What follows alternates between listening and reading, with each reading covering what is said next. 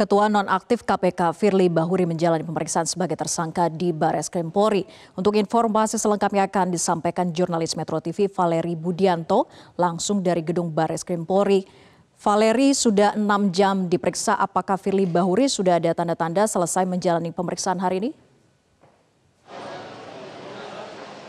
Ya Vera, kami tadi baru saja mencoba untuk masuk dan juga naik ke lantai 6 tempat pemeriksaan terhadap Firly Bahuri dilakukan, tepatnya di ruangan di Tipikor Baris Krim Polri. Dan kalau misalnya bisa kami sampaikan, cukup ada perbedaan dibandingkan pada pemeriksaan-pemeriksaan selanjutnya. Kalau misalnya pada pemeriksaan selanjutnya, biasanya untuk lantai 6 ini dipenuhi oleh pengawalan yang kala itu masih menjaga Firly Bahuri. Namun di pemeriksaan kali ini, begitu tiba tadi, Firly Bahuri juga tidak didampingi oleh banyak pengawal, hanya satu ajudan. Dan kondisi keamanan di lantai 6 ini sangat sangat sepi, tidak ada pengawalan secara khusus. Dan oleh karena itu kami tadi sempat berbincang dengan sejumlah pihak dan sepertinya nanti apabila memang Firly Bahuri sudah selesai menjalankan pemeriksaan, terlepas dia akan ditetapkan sebagai ter, ter, uh, ditahan atau tidak maksud kami, dia akan langsung turun ke bawah melalui pintu utama dan juga akan melewati kami awak media sebagaimana tadi pagi ia tiba di gedung Baris Krim Polri tidak menggunakan jalur lain maupun pintu lain sebagaimana dalam pemeriksaan-pemeriksaan sebelumnya.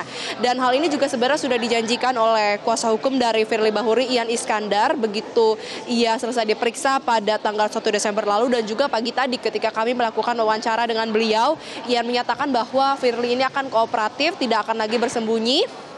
Ia akan mengikuti seluruh proses hukum yang ada.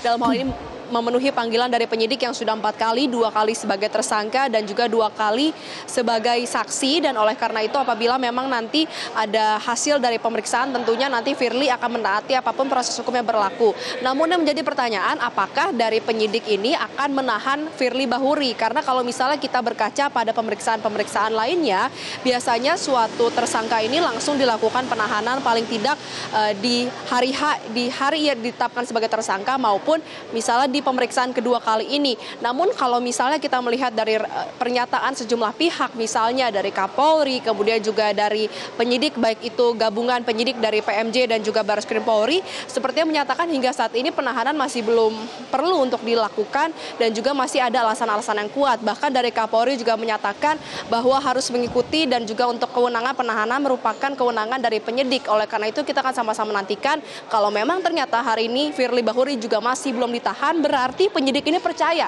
kalau misalnya Firly Bahuri tidak akan mengulang perbuatan tindak pidana, tidak akan menghilangkan barang bukti, tidak akan kabur ke luar negeri dan juga tidak akan melakukan tindakan-tindakan lainnya kooperatif mengikuti proses uh, penyidikan ini hingga nanti dilakukan pelimpahan ke Kejaksaan Tinggi bahkan ke persidangan. Kita akan sama-sama nantikan Vera bagaimana hasil dari pemeriksaan hari ini Firly Bahuri sebagai tersangka untuk yang kali kedua dan apakah ia akan ditahan atau tidak. Sementara demikian kembali ke Anda di studio. Baik, terima kasih Valeri Budianto atas laporan Anda. Selamat bertugas kembali. Jelajahi cara baru mendapatkan informasi. Download Metro TV Extend sekarang.